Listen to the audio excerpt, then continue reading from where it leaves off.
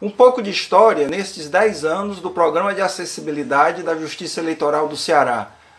O programa nasce sob inspiração da Convenção dos Direitos das Pessoas com Deficiência da ONU, reconhecida como um marco na luta em prol dos direitos humanos e das pessoas com deficiência.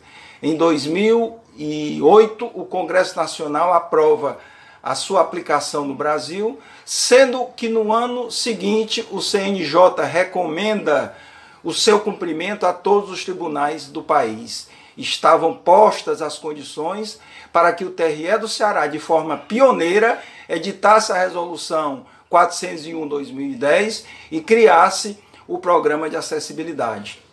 Muitos foram os avanços, mas enormes são os desafios. Estima-se que mais de 2 milhões e 300 mil cearenses possuam pelo menos um tipo de deficiência. Nós temos no estado do Ceará 7 mil locais de votação. Por isso, vida longa ao programa de acessibilidade da Justiça Eleitoral do Ceará.